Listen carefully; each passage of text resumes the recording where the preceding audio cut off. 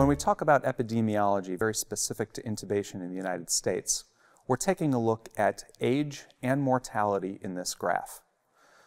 As people get older, as seen in the gray line with the, uh, with the gray circles, we can see that as we get older, the likelihood of being intubated grows ever stronger.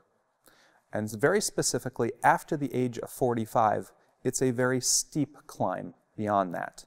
So those 45 years of age and older have a greater chance of being intubated in life than certainly anybody prior to the age of 45. Makes sense, right? Most of the diseases that we know that occur in adulthood occur after the age of 45, stroke included. So now when we consider mortality, mortality risk relative to intubation is a linear curve, meaning that the dark line with the triangles that plot for each age climb equally between ages birth all the way to senescence, with a slight greater climb after the age of 70.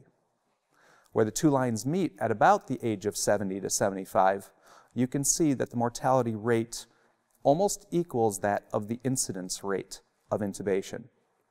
It's not suggesting that those who are intubated will never come off the tube and will die ultimately.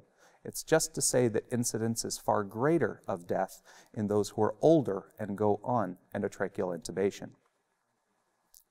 So turning our focus a little bit to the dysphagia associated with acute, care, acute respiratory failure, we see that more than 48 hours of intubation leads to more than 50% of those with dysphagia once the endotracheal tube comes out. Within those, 50% of those patients are aspirating. Going even further than that, almost 50% of the aspiration is silent. So in all, this is a very considerable issue and something that desperately needs to be addressed, and certainly relative to the literature that I will present very shortly.